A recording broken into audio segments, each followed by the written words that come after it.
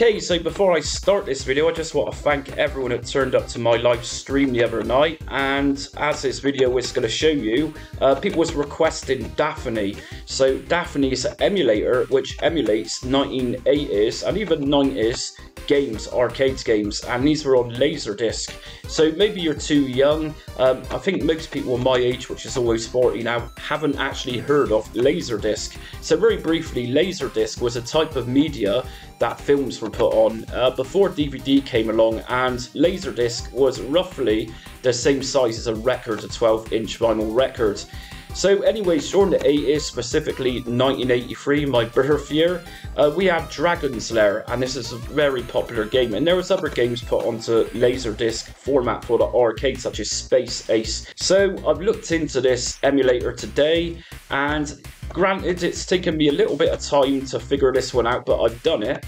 And this is going to show you how to get up and running with Daphne through RetroBat, so check this one out.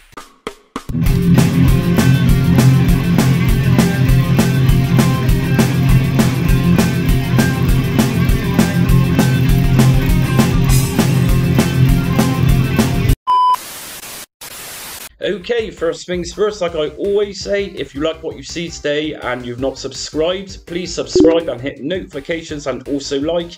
That will get you up to date content as I upload it. And just to remind you, I also cover other front-end systems such as Batocera, Launchbox, Playnite, RetroArch, and even standalone emulators such as PlayStation 3 and microcomputers such as Commodore 64. Pretty much anything retro based I cover here on my channel. Let's get on with this. What we're going to do first is go into the RetroBat directory, so just right click on this, open file location.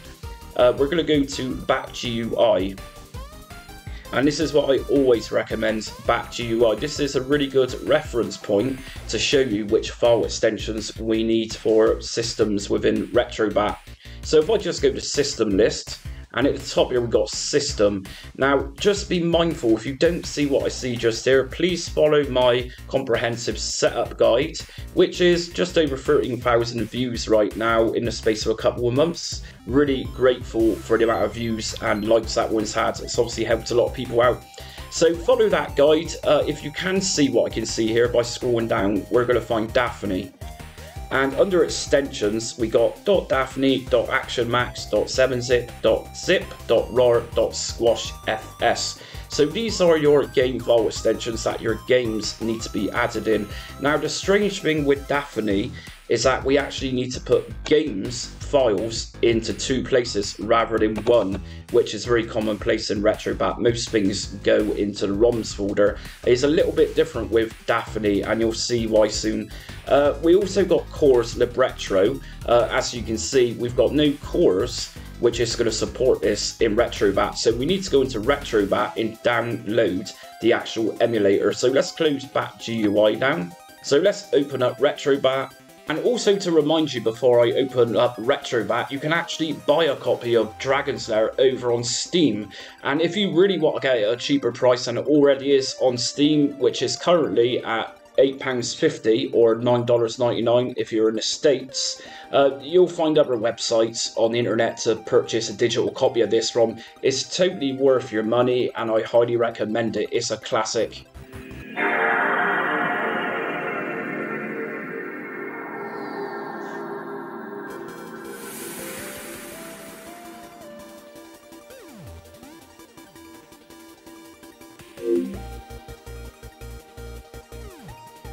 Okay, so once we're in RetroBat, then what we're going to do is just scroll up to RetroBat.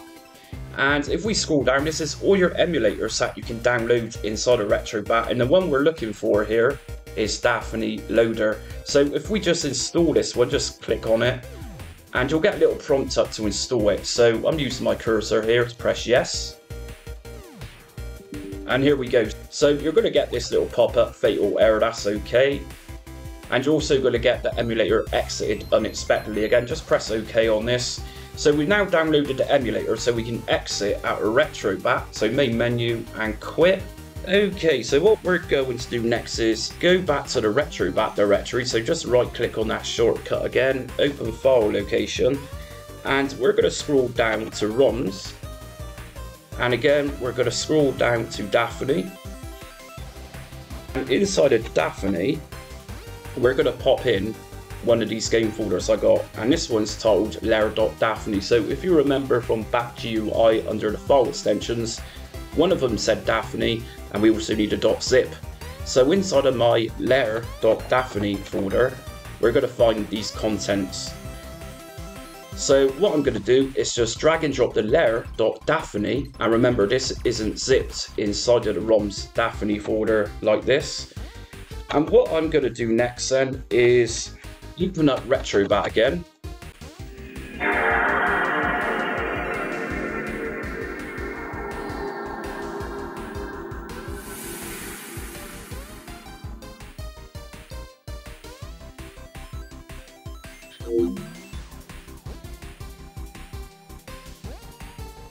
And this time we're going to find Daphne. So if we go into Daphne, we're going to find Lair, and what I'm going to do is just open this.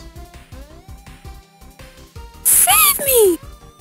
And that's fine. So if we just exit again out of here and quit RetroBat, so go to quit, as we can see in the RetroBat ROMs folder now, it's just generated a new folder and we've also got a .text, that's fine, that's what we need. So inside of this ROMs folder that it's just created, we're just going to click inside this one. Now in my lair.zip, I've got a few different files here. So firstly, what I'm going to do is just copy these files inside and let's just close out of this one and I'm also going to drag in this lair.zip and we're going to back out of this and back out again and back out again. So we're in the root directory now of retrobat. And if we go down to emulators we're going to find daphne. So if we go inside daphne we're going to find another ROMs inside of here. And all we got in here is a readme.txt so what I'm going to do is also copy some files which I've just pasted elsewhere in Retrobat. And these are the Dragon's Lair u1.bin files. So if you remember just a minute ago I also put these into the ROMs folder. So what we're going to do next is open up Retrobat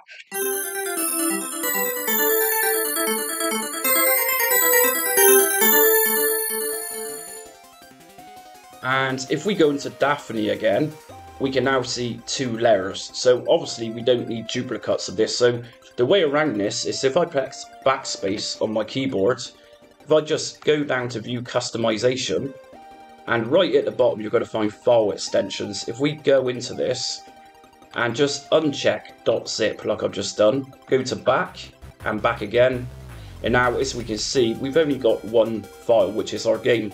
So before I boot this one up, let's grab some artwork. So enter, and I'm going to go to scraper and just scrape this, which shouldn't take too long.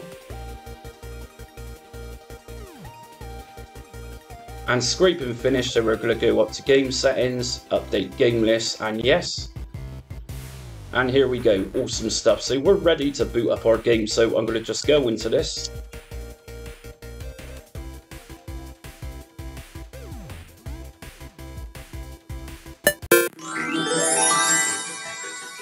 Dragon's Lair, a fantasy adventure where you become a valiant knight on a quest to rescue the fair princess from the clutches of an evil dragon.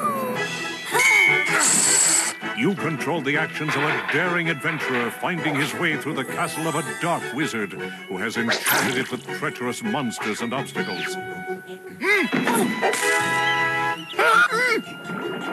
In the mysterious caverns below the castle, your odyssey continues against the awesome forces that oppose your efforts to reach the Dragon's Lair. Lead on, adventurer. Your quest awaits.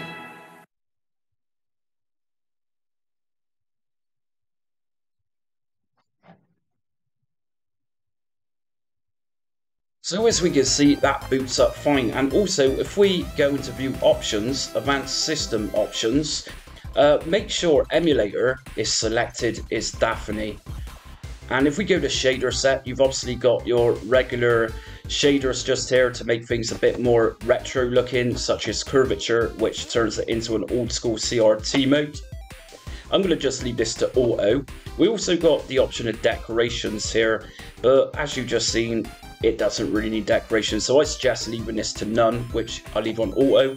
We also got aspect ratio. So if you did want to put decorations on this, make sure you put your game into 4x3 aspect ratio. If you put decorations on and say it's 16 by 9, your image is going to be just cropped. So let's just leave this one to auto.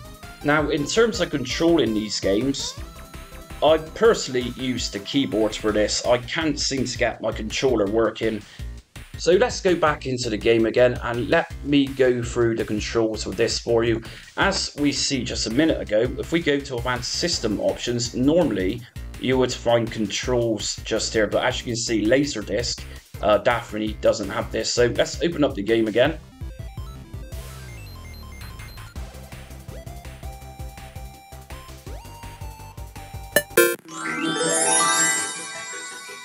Dragons. So the digit 6 on my keyboard is inserting coins. And I press digit 1 to start the game as player 1.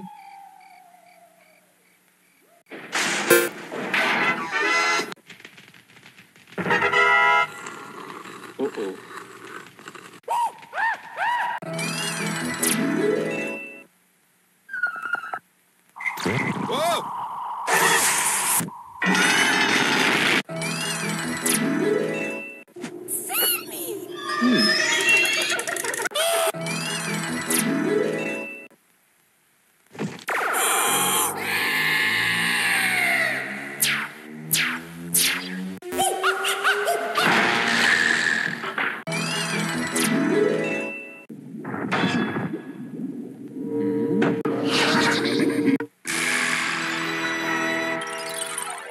So that's pretty much it for today's Daphne setup guide. Like I've been saying, it's not particularly the easiest RetroBat system to set up.